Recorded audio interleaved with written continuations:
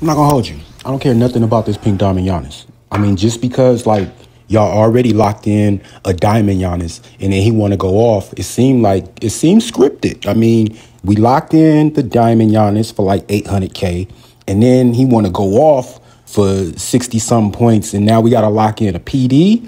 I mean, yeah, but nah, I'm not going crazy over it. I'm, I'm, I will use the original Giannis that we already have. I'm not gonna lie to you. I'm not worried about it either way. Like, if I go to this original Giannis and show you the stats, ain't nothing really wrong with him. This, this diamond Giannis is fine. I mean, it's a three point difference in his offense. He still got 99 defense.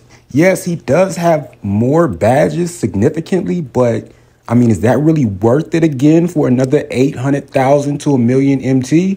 I'm not really, you know, I'm not really too enthused over it. Yeah, he got a higher shot IQ. As so what? I'm not looking forward to shooting with Giannis. I want to get to the bucket and get to that cup.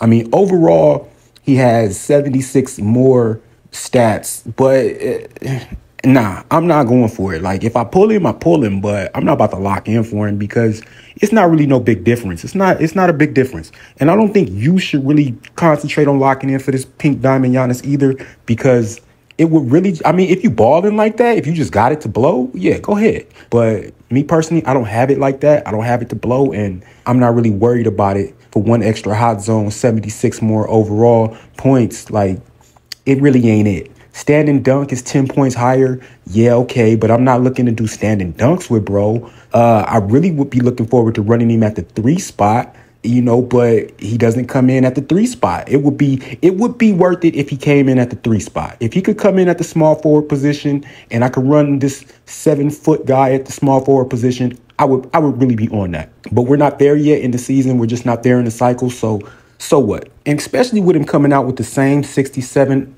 three pointer, like a 67 three pointer, I could see if they bumped it up a little bit. They gave him more shot IQ, but didn't give him more three point. He got a little more shot close and a little more mid range, but I would like to see him with like a 70, 72 three point shot at this point. We're just not there yet in the cycle, so I don't think it's worth it to really go after this pink diamond Giannis Antetokounmpos. You know what I mean? Uh, yeah, you take that with a grain of salt. Do what you do, do what your pocket allows, but it's not what I would do at this point, especially if you already locked in the diamond version. Go ahead and ball out. And that's just free game from somebody with a little bit of game. Do your thing.